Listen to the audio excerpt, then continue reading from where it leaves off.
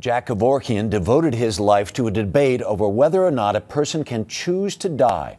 Critics called him Dr. Death, but supporters of physician assisted suicide think of him as a champion. Kevorkian died today at a hospital in Michigan at the age of 83 from a blood clot. News of his death started the conversation all over again. He was a retired pathologist from Michigan who specialized in challenging authority. Dr. Jack Kevorkian ignited a national debate in the 1990s over physician assisted suicide when he helped more than 130 patients kill themselves.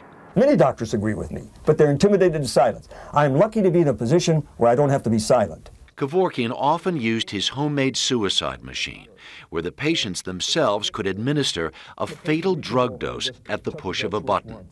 He said his actions were based on a simple belief that the terminally ill have a right to end their own suffering and die if they choose to. And this is the ultimate self determination to determine when and how you're going to die when you're suffering. Legal authorities did not agree. Four times he was put on trial and never convicted.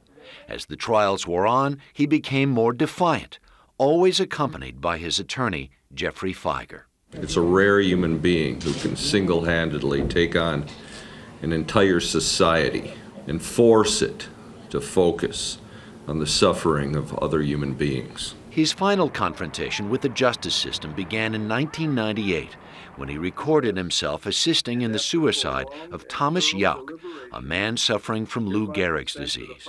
He showed the tape on 60 Minutes and defiantly defended himself to Mike Wallace.